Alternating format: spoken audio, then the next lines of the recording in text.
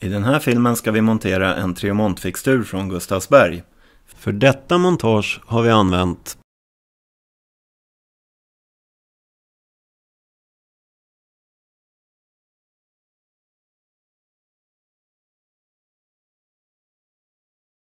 Nu packar vi upp triomonten och delarna.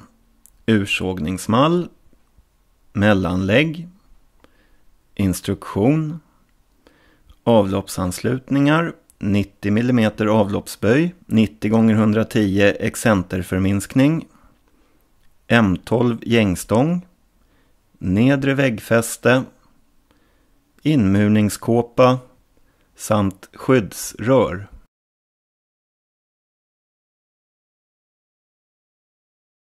Nu ska vi höjdjustera triomontfixturen. Vi börjar med att lossa bultarna på baksidan. Justerar benet så att det blir en meter mellan ben och en meters markeringen. Detta ger en sitthöjd på cirka 410 mm för de flesta WC-skålarna. Detta gäller då fixturen placeras på färdigt golv. Se instruktionen för vald WC-skål. Dra fast bultarna Gör samma moment på det andra benet också. Nu ska vi montera avloppsröret.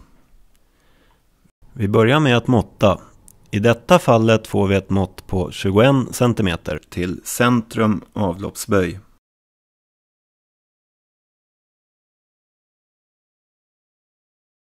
Vi behöver kapa 5 cm.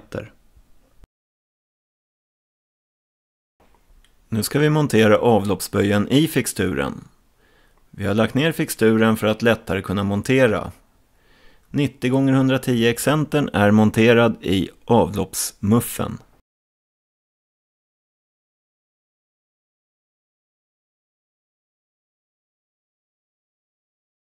Nu ska vi montera fixturen på avloppet.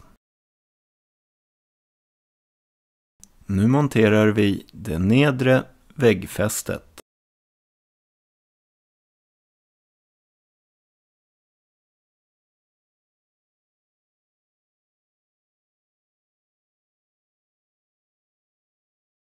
Vi drar åt låsmuttrarna när vi har justerat fästena. Detta moment kan behöva göras om när fixturen är fastsatt i väggen.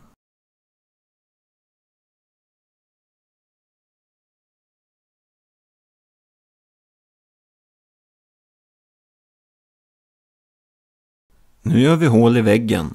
I detta fall så börjar vi med en kakelborr för att sedan använda en betongborr. Glöm inte skyddsutrustning. Hålet tätar vi med silikon. Vi sätter i en plastplugg för betong och fyller även den med silikon.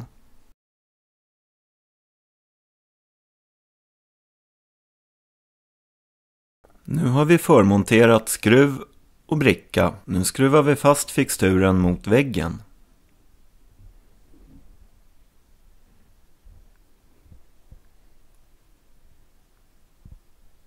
Nu kontrollerar vi att fixturen är våg och lodrätt.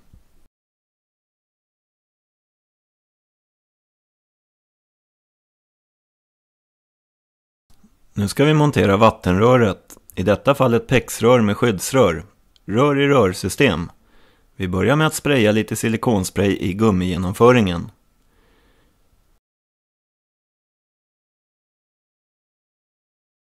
Nu ska vi montera en koppling mellan avstängningsventilen och pexröret. Vi börjar med att montera lin på gängan. Det går bra med gängtejp också.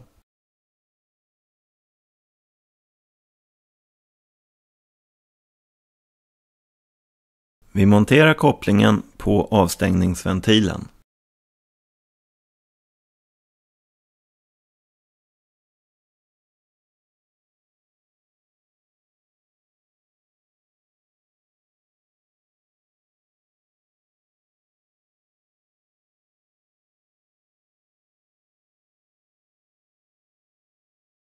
Nu kopplar vi ihop pexröret och ventilen.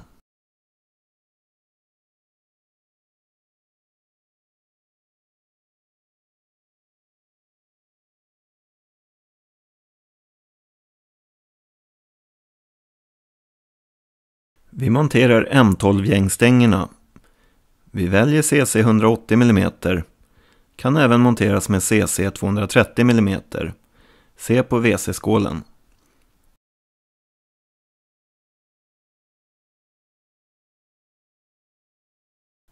Längden på gängstången beror på väggens tjocklek och måttet som behövs för att montera WC-skålen. Se instruktionen för WC-skålen eller mät WC-skålen.